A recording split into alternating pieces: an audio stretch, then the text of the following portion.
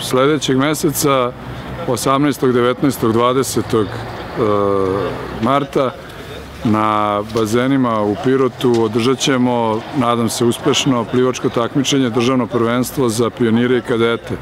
Znači, to su najmlađe kategorije plivača. Kako ste vi dobili ovaj bazen pre dva meseca, Plivački savez Srbije je odmah reagovao i u komunikaciji sa pre svega opštinom Pirot.